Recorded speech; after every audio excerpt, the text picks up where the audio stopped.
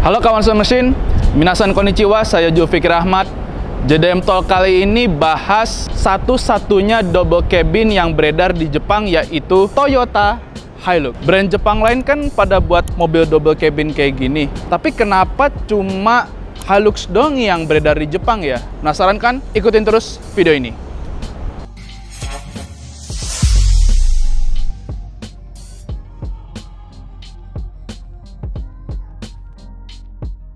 Jadi dari pertama diproduksi sejak tahun 1968, ada satu generasi Toyota Hilux yang nggak beredar di Jepang, yaitu Hilux generasi ketujuh pada tahun 2004. Dan di zaman itu Toyota baru meluncurkan proyek IMV. IMV itu International Innovative Multipurpose Vehicle yang terdiri dari MPV yaitu Toyota Kijang Innova atau Toyota Innova, SUV yaitu Fortuner, dan pickup atau double cabin ya Toyota Hilux ini. Jadi di generasi ketujuh Toyota meluncurkan Hilux sebagai bagian dari proyek IMV itu. Cuman yang generasi ketujuh ini nggak beredar di Jepang.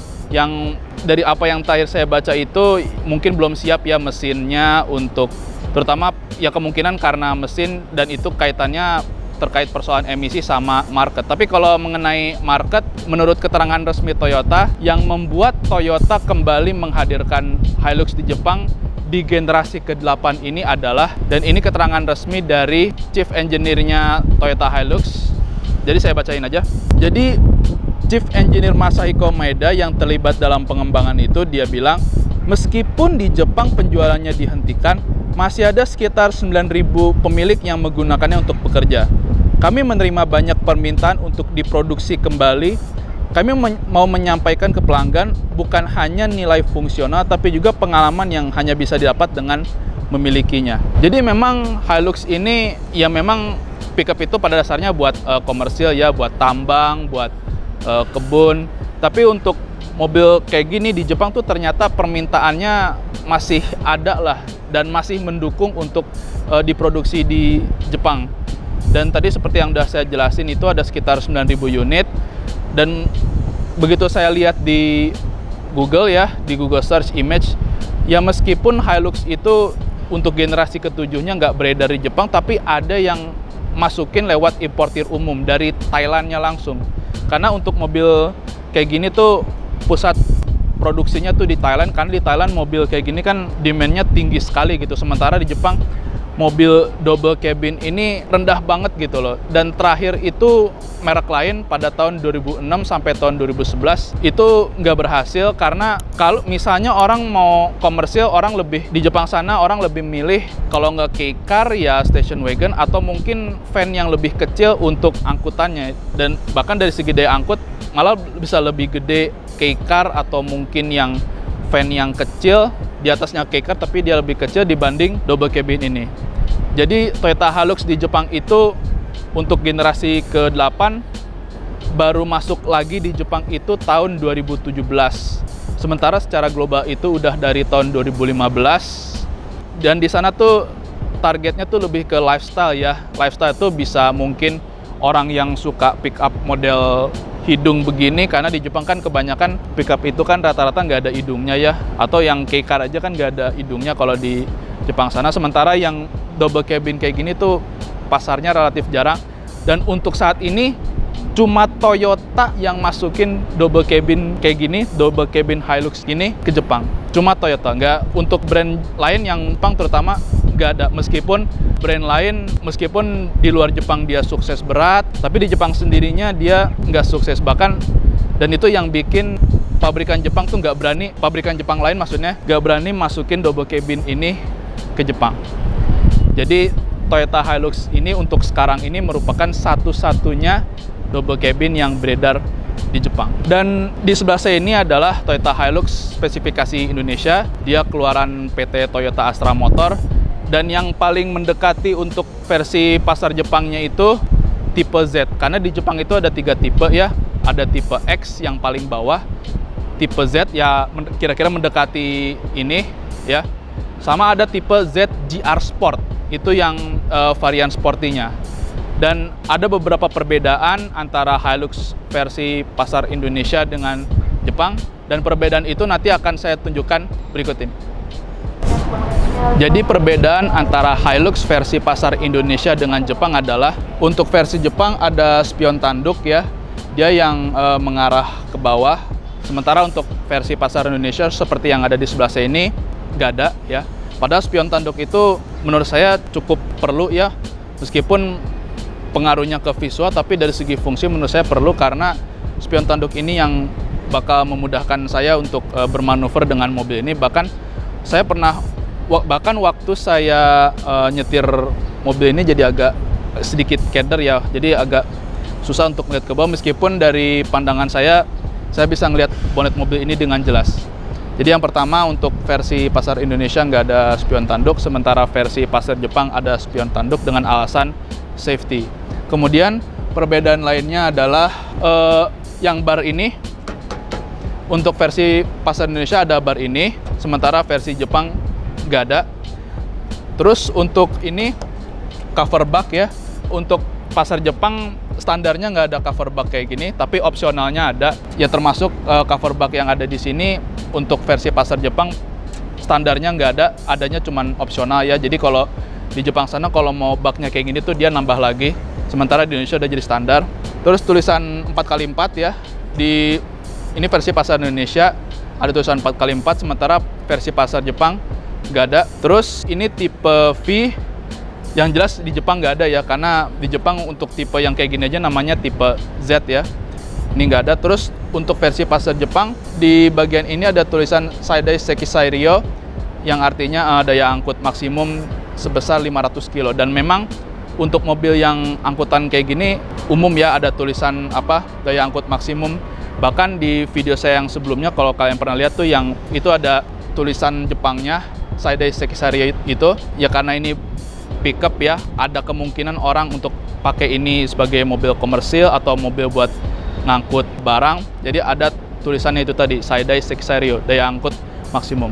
Oke sekarang kita udah bahas eksteriornya. Sekarang kita masuk ke interior oke tadi kita udah bahas eksteriornya sekarang kita bahas bagian interiornya.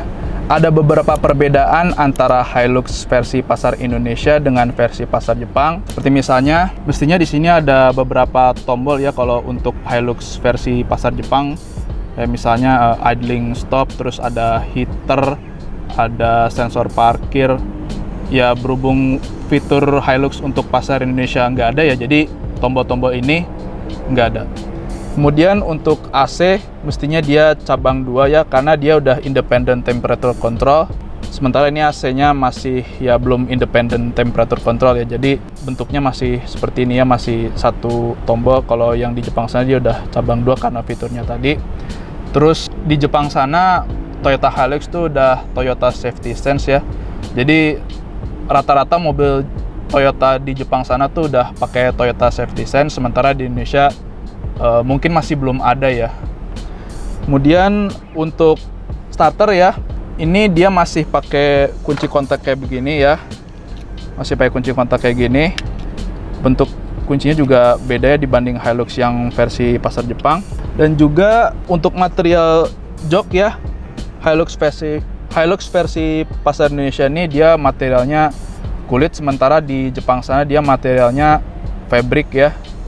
Material fabric tapi yang grade-nya tinggi terus layar MID cuman kalau layar MID kan ya baru ketahuan pada saat di start kayak gini. Untuk uh, layar ininya sih sama ya kayak Hilux JDM nah tapi yang tadi ada nongol tulisan digital speed ya untuk versi pasar Jepang ya tentu pakai bahasa Jepang karena ya namanya juga mobil versi pasar Jepang ya berarti menyesuaikan pasar yang ada di sana. Ya secara keseluruhan sih nggak banyak beda ya antara Hilux versi Indonesia dengan Jepang dari segi interior. Ya bahkan panel instrumennya pun e, lebih kurang sama termasuk speedometer ini kan karena mobil JDM sama e, mobil pasar Indonesia kan perbedaan yang umum kan interior itu di speedometer ini sama-sama sampai 200 km per jam ya dari segi angka. Di Jepang juga begitu. Terus ini transmisi ya. Di Indonesia ada Hilux yang transmisinya manual, ada juga yang otomatis kayak begini. Sementara di Jepang sana cuma ada otomatis, termasuk tipe yang paling rendahnya.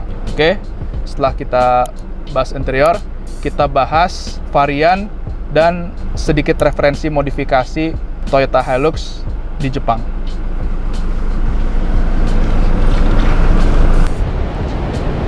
Untuk Hilux pasar Jepang, selain tipe Z yang mendekati Hilux versi pasar Indonesia, ada Hilux tipe X ya. Bedanya dia nggak ada krom-kroman kayak gini, dia nggak ada. Peleknya sama-sama 17 inci tapi dia stili ya. Atau kalau bahasa kita, peleknya kaleng. Interior juga nggak ada aksen silver atau apa juga nggak ada. Itu kayak mendekati mendekati trondol lah. Kecuali panel instrumennya itu sama lah.